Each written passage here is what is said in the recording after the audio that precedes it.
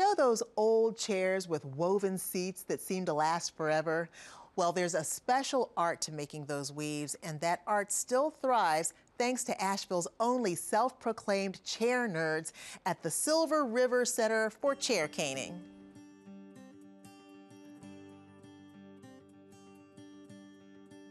Shameless chair nerds, in fact. Um, Again, we just really get excited about the chairs. They all have such fascinating history.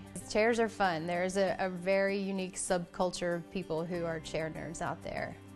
Located in Asheville's River Arts District, Dave and Brandy would like nothing more than to use this space to teach people the overlooked art form of chair caning.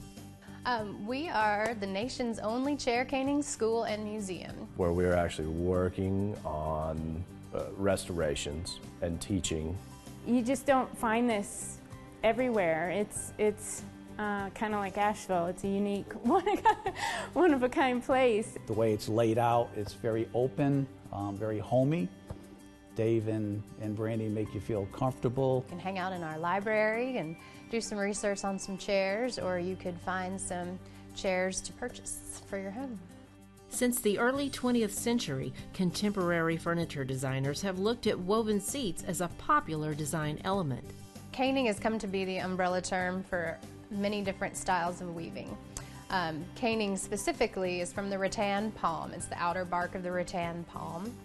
And it is a jungle climbing vine. It comes from Southeast Asia. Came over with the tea and spice trade in the 16 and 1700s. There are so many different styles and when you start to see them all in one place, then it, it, can be mind-blowing. You know, people that come in and their jaws drop.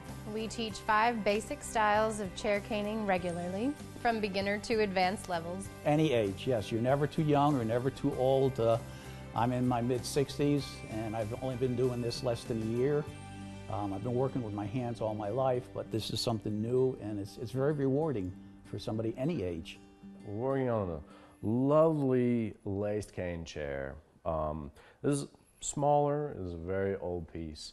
Um, and even a chair this size, you'll have 15 hours worth of work when all is said and done. Um, we've laid in step one, which is these verticals, and I'm working on step two, the horizontals. Uh, you're coming up the holes and shooting across and back, back down the holes on the other side. The pegs are there to hold the tension until you have an opportunity to tie your tails off.